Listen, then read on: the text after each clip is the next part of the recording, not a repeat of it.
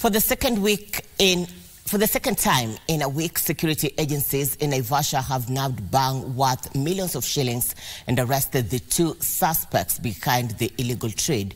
The two were arrested in Kayole Estate off the Nairobi-Nakuru Highway following a sting operation by a multi-agency security team. It was the end of the road for these two men after they were nabbed in possession of bhang estimated to be worth millions of shillings.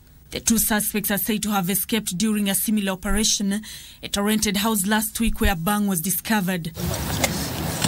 After the escape, the suspects regrouped and continued with the illicit trade, only to be apprehended days later. We have arrested the two today with this consignment in a private rented house where they have been doing this business.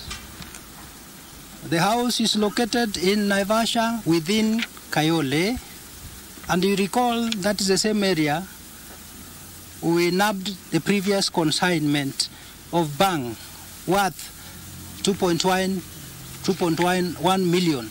According to Naivasha Deputy County Commissioner Josiah Odongo, sale of bhang has been on the rise in the area, with school-going children and slum dwellers remaining the main targets.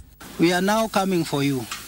This is a warning for you to surrender and stop doing this business of destroying our generation, our children, and our society. Odongo has urged landlords to be extra keen and vet their tenants to ensure they are not engaging in illegal dealings.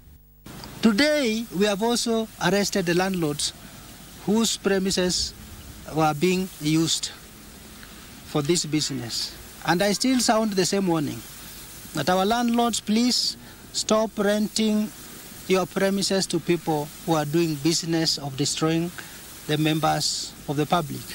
Nancy Okware, Lunchtime News.